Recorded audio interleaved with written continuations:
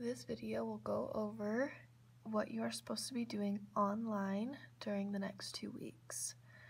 The first thing that you need to be doing is doing uh, going over Delta Math. So when you log into Canvas and you go to the home page, it will give you this page. You'll click on Delta Math. It will tell you to go to deltamath.com, create a student account, and then the teacher code is 932245. I'm going to show you what that would look like. deltamath.com, create an account, you would click the student button. It will ask for the teacher code. You will enter 932245. Then it will ask you to select your class period.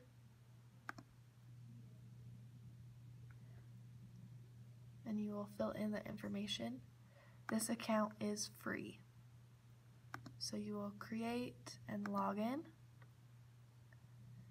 I'm going to go to a student version so you will be able to see what it looks like.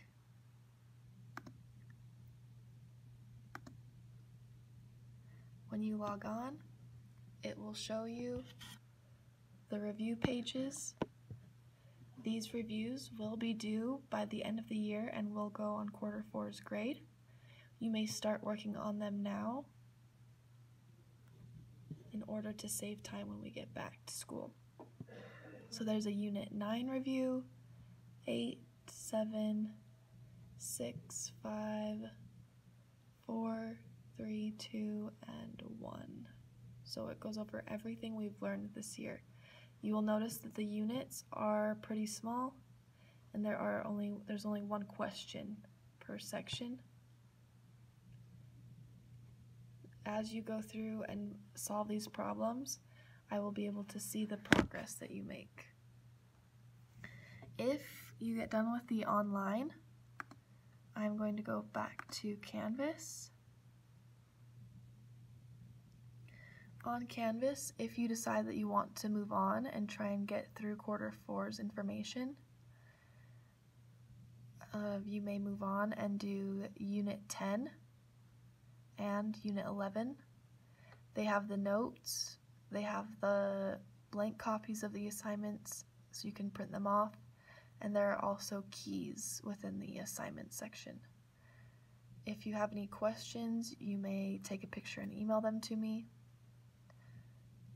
For quarter three, this will be Unit 9. These are the only assignments you may make up to get your quarter three grade up. So I put those on there in case you wanted to work on them. If you have any questions, email me through Canvas or you may email me through my email, krista.anderson at canyonsdistrict.org.